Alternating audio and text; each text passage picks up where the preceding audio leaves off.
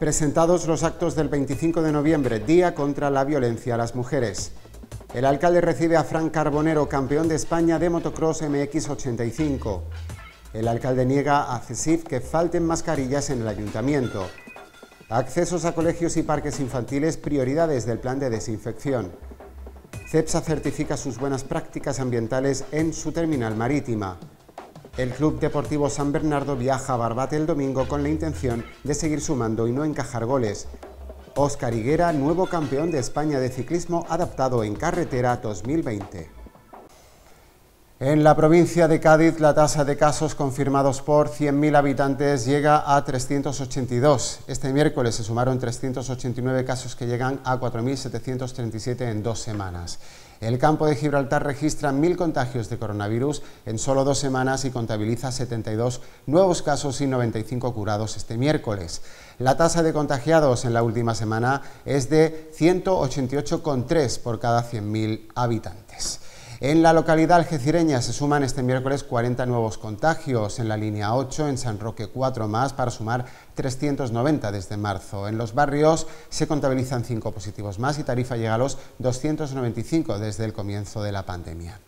Castellar alcanza los 48, Jimena suma 3 más y en Tesorillo se registran dos nuevos positivos. En cuanto a la incidencia de la enfermedad, después de Castellar con más de 852 contagios por 100.000 habitantes, San Roque es el segundo municipio con unos 435 contagios.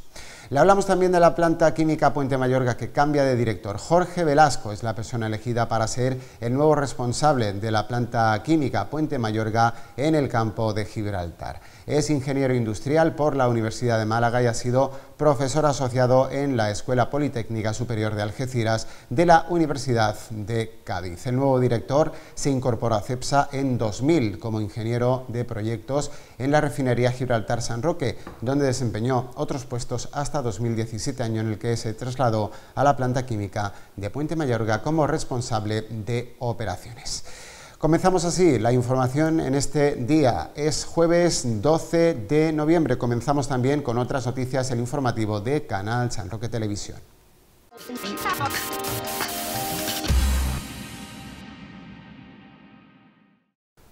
La inauguración del mural de la Plaza de la Igualdad el próximo 25 de noviembre es el acto más destacado de los programados con motivo del Día contra la Violencia a las Mujeres, si bien no faltará el trabajo específico con los adolescentes a través de un taller online y de una exposición itinerante. Además, se llevará a cabo una campaña en la que se invitará a toda la población a participar de manera virtual vistiendo una de las 3.000 mascarillas elaboradas para la ocasión. El alcalde Juan Carlos Ruiz Boix ha presentado esta programación junto a la teniente de alcalde delegada de Igualdad y Asuntos Sociales Mónica Córdoba y el responsable técnico del Centro de Información a la Mujer José Gómez Macías. Este funcionario está pronto a su jubilación y el primer edil ha aprovechado la ocasión para agradecerle su labor como psicólogo durante tantos años y también como gran apoyo de las numerosas mujeres que han recurrido a este servicio municipal. La inauguración del mural de la Plaza de la Igualdad el próximo 25 de noviembre es el acto más destacado de los programados con motivo del Día contra la Violencia a las Mujeres, si bien no faltará el trabajo específico con los adolescentes a través de un taller online y de una exposición itinerante. Además, se va a llevar a cabo una campaña en la que se invita a participar de manera virtual vistiendo una de las 3.000 mascarillas elaboradas para la ocasión. Mónica Córdoba agradeció la participación en estas actividades de la Delegación de Igualdad, así como de la empresa multimedia Obras y Servicios Policía Local y distintos colectivos de mujeres. Explicó que la participación en la campaña San Roque no faltes a la igualdad se hace más necesaria este año cuando, debido a la pandemia, ha aumentado el número de víctimas de esta violencia al tener que estar confinadas con sus agresores. Este año, antes de detallar esas actividades, decir que es un 25 de noviembre distinto, no por el significado de este día, que evidentemente eh, se ha referido al alcalde, sino eh, por la situación que hemos atravesado a través de la pandemia, en la que, bueno, en este caso se, ha incrementado el número de esas víctimas de violencia de género, ya que estaban eh, confinadas con su agresor y evidentemente desde el Ayuntamiento de San Roque pues nos adherimos a ese plan de contingencia contra la violencia de género en el mes de abril en el que se reconocía a, los servicios de asistencia integral a las víctimas de violencia de género como un servicio esencial y, por supuesto, desde el CIN nunca hemos bajado la guardia y seguimos trabajando y trabajamos eh, con, el personal técnico, por supuesto, y con la policía local, Biogen, con la Guardia Civil, con fiscales, con el juzgado.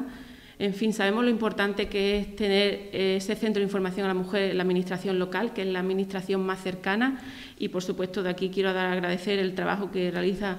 no solo mi equipo, sino toda la gente que en este caso coordina, eh, eh, bueno, en este caso a las víctimas de violencia de género. Y ahora sí quiero detallar un poco o entrar en materia de las actividades que vamos a llevar a cabo. Por un lado, como bien ha dicho el alcalde, pues tenemos mm, una campaña de concienciación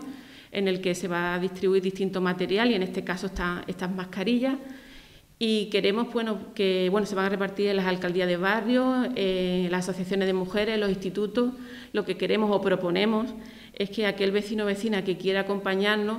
pues que se, que se coloque dicha mascarilla y, se, y nos envíe una foto al Messenger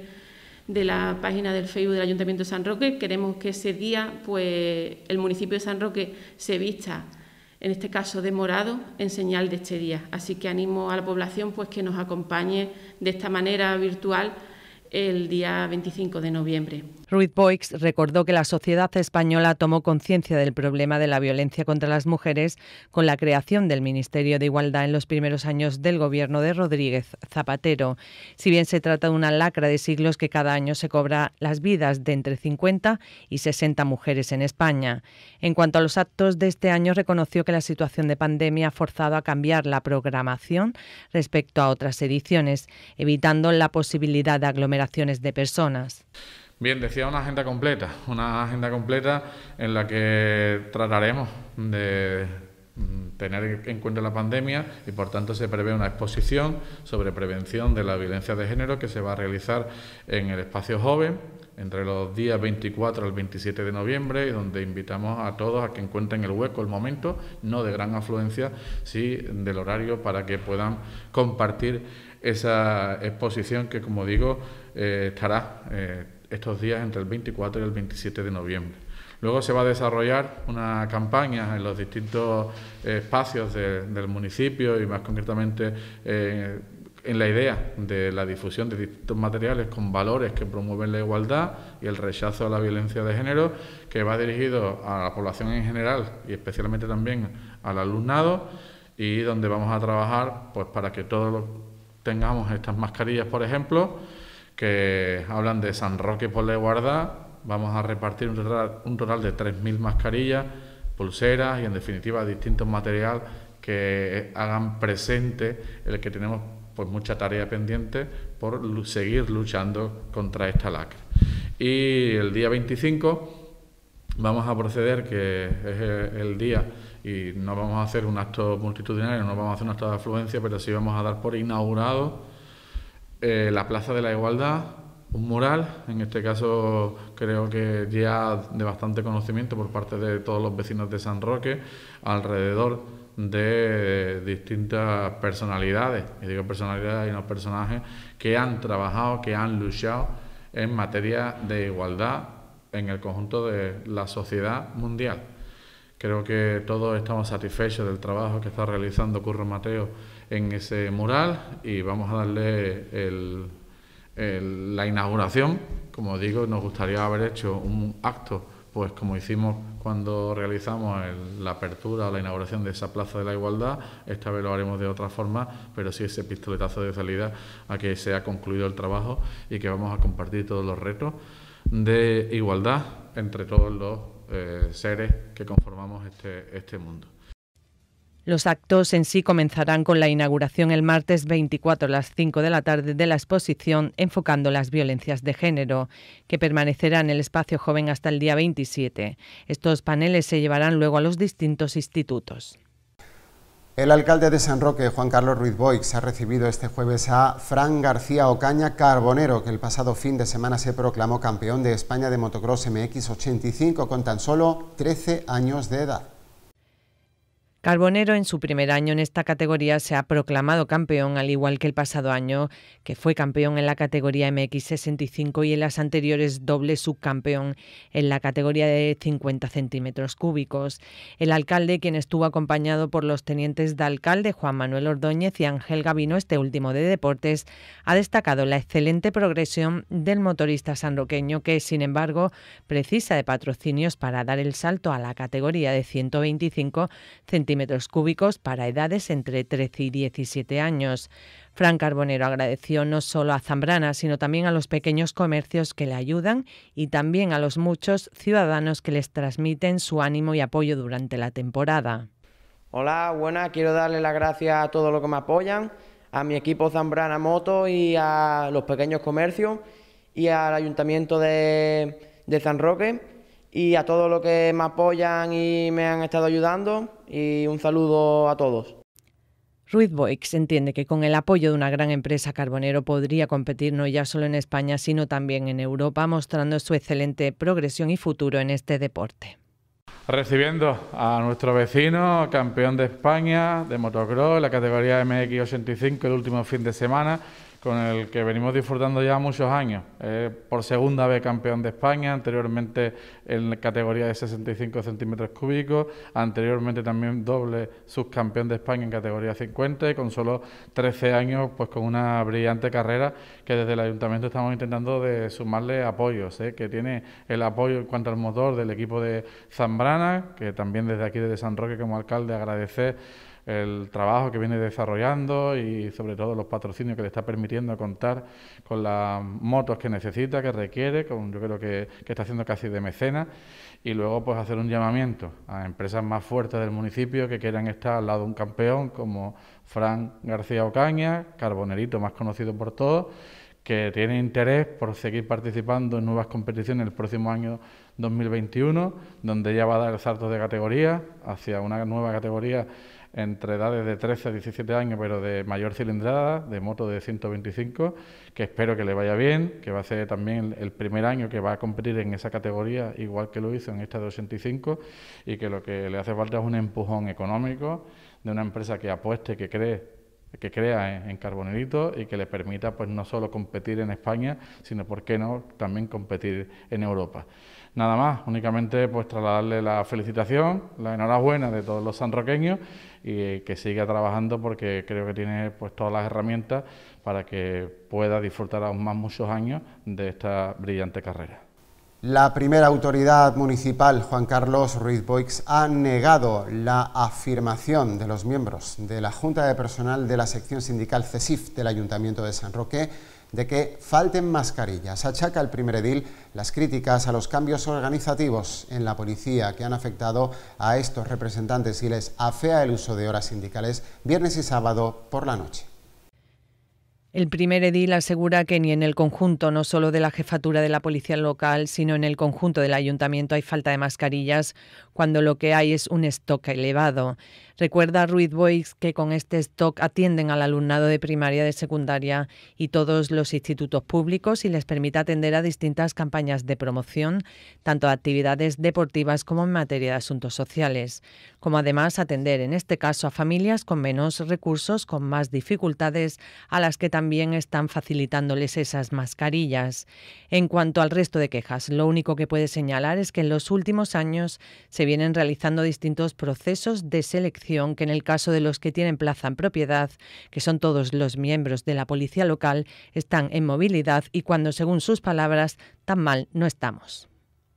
Pero ni en el conjunto no solo de la jefatura de la policía local, sino ni en el conjunto del ayuntamiento hay falta de mascarilla, sino que hay un stock elevado que además nos permite tener stock para atender a los, al alumnado de primaria, secundaria y todos los institutos públicos, nos permite atender a distintas campañas de promoción, tanto de actividades deportivas como en materia de asuntos sociales, como además atender, en este caso, a familias con menos recursos, con más dificultades, a los que también estamos facilitándoles esa mascarilla. Y en cuanto a la suma de quejas, lo único que este alcalde puede señalar es que en los últimos años se vienen realizando distintos eh, procesos de selección, que en el caso de quienes tienen plazas en propiedad, que son todos los miembros de la policía local, están en movilidad y que tan mal no estamos, porque tenemos el mismo número de agentes, salvo las jubilaciones, y además invito a que quien no corresponda, no esté cómodo en este ayuntamiento, pueda participar de esos concursos de movilidad y entrar en otro ayuntamiento y comparar. Porque seguimos siendo una jefatura de policía local que tiene renovada su sede de reciente inauguración, con este caso con una inversión de más de 150.000 euros. Somos el único municipio que cuenta con chalecos antibalas de carácter individual, que hemos adquirido más de 90 por un importe de más de 40.000 euros. Tenemos taquillas individualizadas para todos y cada uno de los agentes que forman parte de, este, de esta jefatura. Tenemos un servicio de vehículos que es mm, sobredotado a cualquiera otro municipio de la, de la comarca o de la provincia y que además está próximo a su renovación completa y por tanto no vemos esa carencia ni esas dificultades que se encuentran por parte de estos delegados del CSIC, que vuelvo a decir que lo que tienen es un enconamiento personal porque están cambiados, en este caso, en la estructura organizativa de la policía y que, por tanto, no obedece a la realidad de lo que existe en la jefatura de policía local, donde hay consenso, donde hay acuerdo y donde hay una actuación que dentro de la actual dificultad de la pandemia, con dos grupos que hemos tenido confinados, en lugar de sumar nuevos refuerzos y de estar a disposición de la ciudadanía para prestar servicios, incluso en estos periodos de confinamiento, ha habido el disfrute de horas sindicales en, vamos a decir, días no apropiados para la defensa de los aspectos sindicales, como puede ser un sábado por la noche. En la jornada del jueves ha continuado desarrollándose el plan especial de desinfección que lleva a cabo la Delegación de Limpieza Viaria con medios propios y desde el día anterior también con un camión cisterna alquilado para llegar a más puntos del municipio.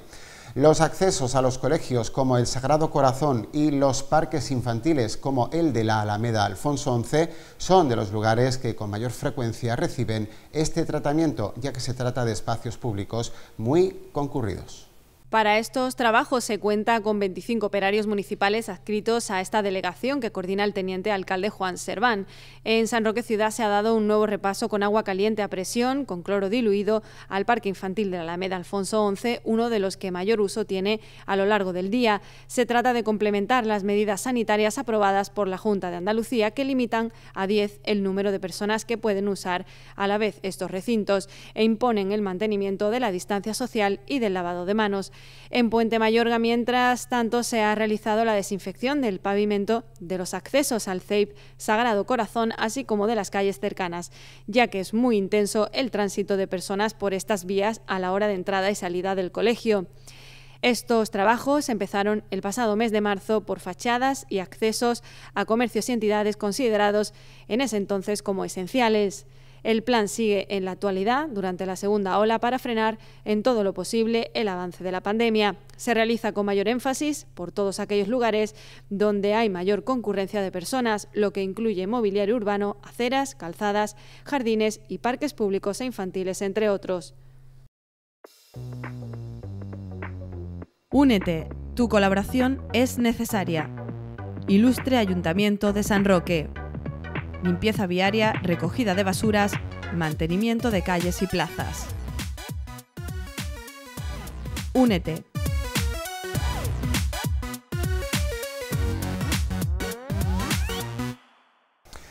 CEPSA en San Roque ha sometido a sus instalaciones portuarias a una auditoría medioambiental externa realizada por AENOR, que ha verificado que las actividades de carga y descarga de crudo y productos petrolíferos se realizan conforme a lo estipulado con la Autoridad Portuaria Bahía de Algeciras.